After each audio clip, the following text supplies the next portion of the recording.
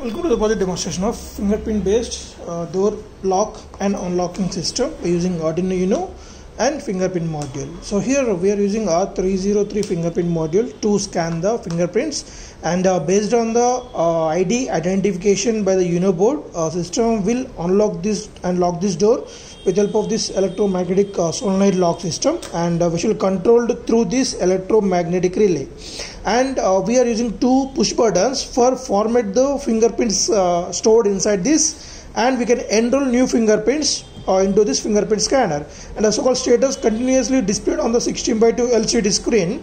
And all these inputs and output modules of our project interface to the Arduino Uno board H uh, pin number 8 and 9 for this fingerprint module and pin number 2 to 7 for the LCD screen. And pin number uh, 10 and 11 uh, for these two control buttons. And uh, pin number 12 for this electromagnetic relay. And uh, we are using this breadboard to distribute the 5 volts power supply for the input and output modules of our project directly. Also one more alerting device is there uh, like the buzzer. So whenever we place the wrong fingerprint then uh, the buzzer will get switched on as indication of access denied uh, message will be displayed on the LCD screen. So let us see demonstration and uh, so this is a power supply for the solenoid lock. And the next is a power supply for the main uh, power source for the electronic components in our project. So once we on that uh, we can see the welcome message displayed on the LCD screen and the buzzer will be on and off two times. So first of all if you want to format the old fingerprints then press and hold this format switch. Then press and release this reset switch of our Uno board this is a reset switch. Just press and release that. But hold the switch till we see the data erased. So till that message we should hold this format switch. Same for the enrolling also. Press and hold the enroll switch and restart that.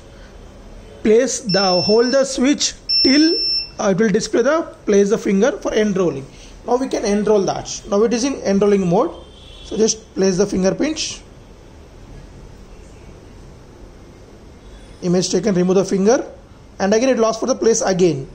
Same finger. So it acknowledges this uh, stored at uh, location 1 if the stored at location 1 is not displayed then again you need to place the finger. So now it is stored already.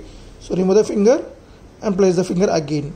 So stored at 2 like that is continuously enrolling the fingerprint till you reset that without placing any finger on this fingerprint model uh, any switch also.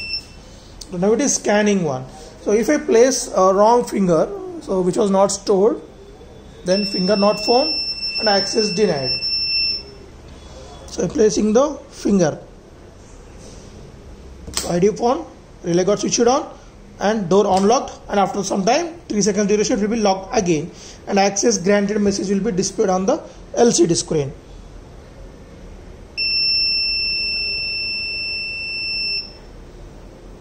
Right.